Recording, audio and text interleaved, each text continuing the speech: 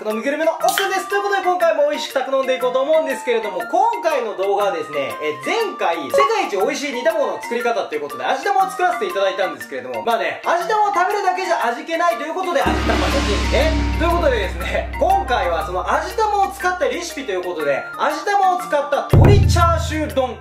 こちらを作っていきたいと思います。ということでね今回鶏チャーシュー丼を作るんですけれども鶏チャーシューもね自分初めて作るのでもうすごい楽しみにしてる一品になっております。さあということでどんな美味しい味玉鶏チャーシュー丼ができるでしょうか？今から楽しみです。それでは早速調理開始。それではまずこちら鶏もも肉をタコ糸で縛っていきます。鶏ももを縛る際のポイントなんですけれども必ず皮の部分を外側にするようにしてください。なぜかと言いますと皮の部分が肉を包んでくれるので煮崩れしづらくなりまして豚肉のチャーシューのようにぐるぐるに巻く必要はなくなってですね2箇所ないし3箇所止めれば大丈夫になります。まあ、そもそも鶏肉は柔らかいのでそんな長時間煮ることはないんですけれどまあそういった効果を期待できるってことですね。そしたら鍋の中に水 100cc 醤油 100cc みりん 50cc 酒 25cc 長ネギの青い部分。生姜スライス3枚ほど。それとお肉を入れて。弱火で30分ほど煮ていきます。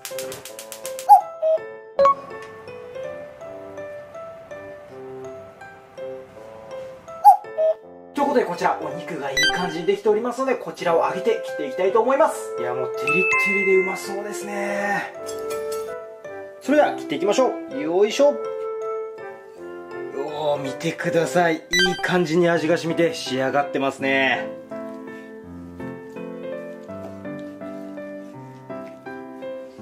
さあということでいかがでしょうか。うまそうな鶏チャーシューが完成しました。それじゃあお米も洗っちゃいましょうかね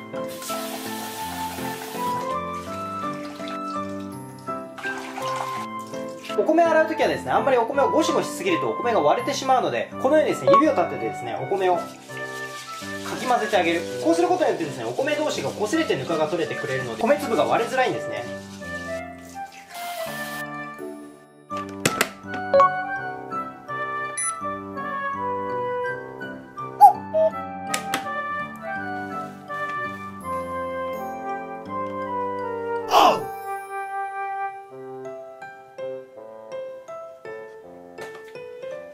さあということで完成ですいやどうでしょう。この煮卵と鶏チャーシューのコラボレーション。煮卵はとろとろチャーシューはジューシーでめちゃめちゃうまそうです。さあということでめちゃめちゃうまそうな一杯ができました。早速食べていきましょう。さあということで味玉鶏チャーシュー丼完成いたしましたので早速食べていきましょう。いただきます。いやもうねこの2つのコラボレーションはね間違いないですからね。じゃあまずはこの初挑戦の鶏チャーシューからいってみましょうかね。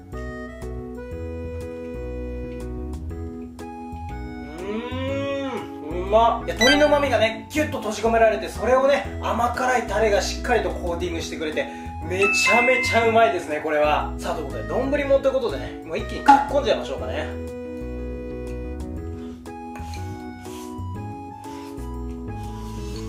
いやうまい。この鶏チャーシューと味玉とご飯のコラボレーションこれ最強ですよ。しかもねあのご飯に鶏チャーシューの煮汁かけたじゃないですか。あれがまた効いてるんですよね。ご飯が甘辛くなってもうこれだけでも絶品ですね。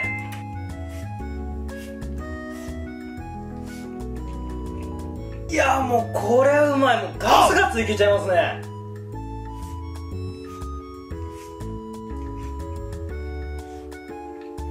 うんうまい。さあということで今日のおビールでございます。激うま味玉チャーシュー丼ときましたらこれで決まり。じゃん。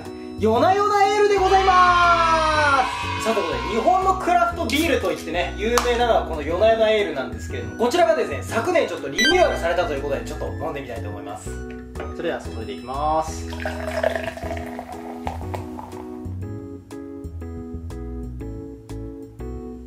さあということで飲んでいく前にですねまずはねこの香りを味わってほしいんですよね。いやこのね柑橘類を思わせるようなこのカスケードホップのねこの香りこの香りがですね夜な夜なエールの徴なんですよね。この香り嗅ぐだけでちょっとテンション上がりますよね。それでは飲んでいきましょう。乾杯。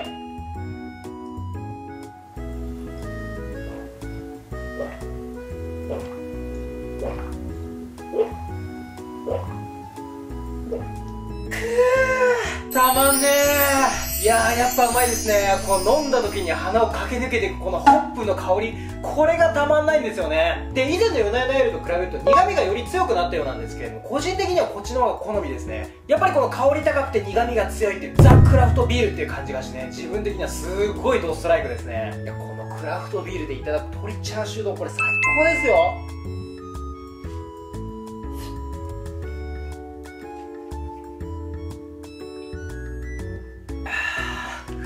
ま。っ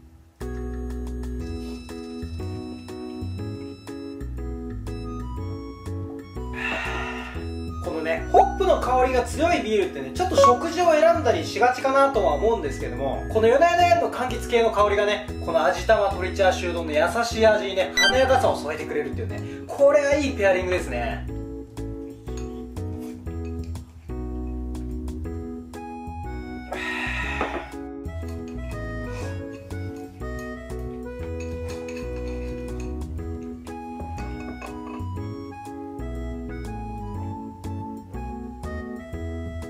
えー、うまかった。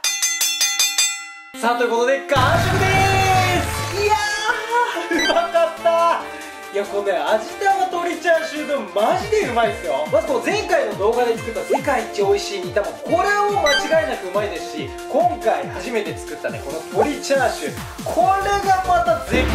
しかもね、このチャーシューの煮汁をかけたご飯と一緒にかき込むと、これも最高なんですよ。いやもうこのテンションの上がり方がわかるように、本当にうまかったです。あとね、このリニューアルしてよだれないこれもうまかったですよね。香り高いホップとこの苦味とね、もう最高のビールでした皆さんもねぜひこの鶏チャーシュー豚肉のチャーシューと比べると結構簡単にできますのでビールのつまみにするもよしラーメンにのせるもよし丼物にするもよしぜひぜひ作ってみてくださいでもねやっぱ一番は丼物かな本当に美味しかったです。さあということでこちらの動画を見て明日の鶏チャーシュー丼食べたいなとか夜な夜なエール飲みたいなと思った方はぜひグッドボタンとあとチャンネル登録もお願いします。これからもねビールに合うつまみだったり自作ラーメンだったりどんどん作っていきたいと思いますのでぜひぜひチャンネル登録をお願いします。